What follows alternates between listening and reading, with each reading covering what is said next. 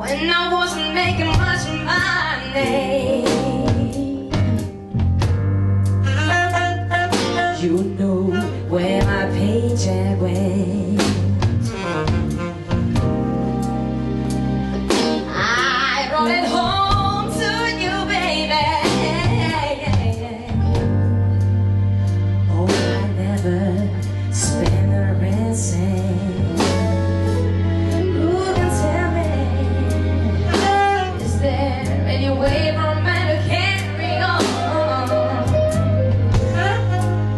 Do you think?